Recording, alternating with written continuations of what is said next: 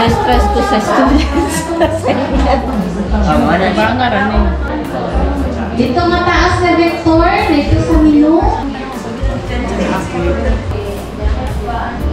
Oh, nakoy lang slider ah. Kung ganahan ka ma'am, sa inyong barangay, may lang slide. So, unsa may input layer niyo? Unsa na inyong gusto i-clip? Gusto niyo i-cut? Then, ang Geo Processing Tool, clip. Nakasunod na? Ha? Okay na sir. Clip, i-highlight. Ang clip, i-right click. Inyo na yung ikuan na tindat-dat din sa gilid. Hi, very high.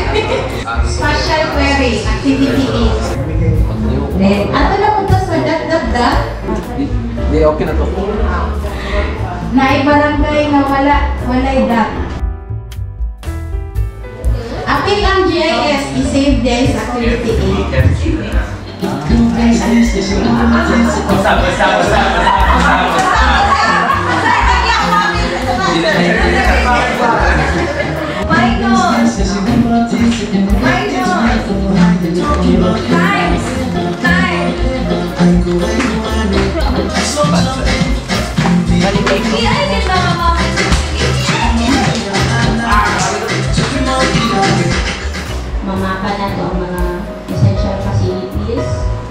Tapos, map layout.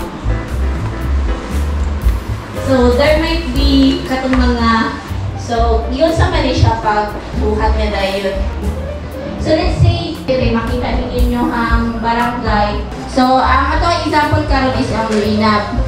Kanina logo, arrow or node item. Tanan, pwede na ito na-explore din na kilid. O, dahil na planon. Right click, zoom to layer. Ah, flood hazard. High ba siya? I-click na to. So, para sa may scale bar, so kung i-check na to, right click, naka-English, pwede na pumayon sa nato ang gabiton. So, ibalik siya ni ato nang ipakita na map. Nakasunod na.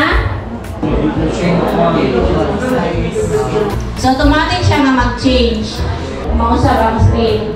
Tadaanan!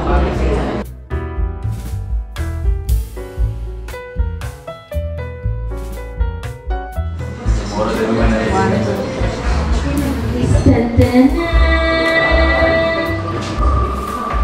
letrang B. 1, 2, and map 3. So, dire makita sa panuruganan ang na iPhone line. And then, ang amo ang ka uh, dikit nga barangay, which is ang Santa Filomena, flood map lang. okay, we are catching up uh, sa morning na uh, activity. Well, anyway, Basi dahil maswerte ang tao, mabisitahan, mabisitahan tao mapuhol. Diba? Monggang-monggang.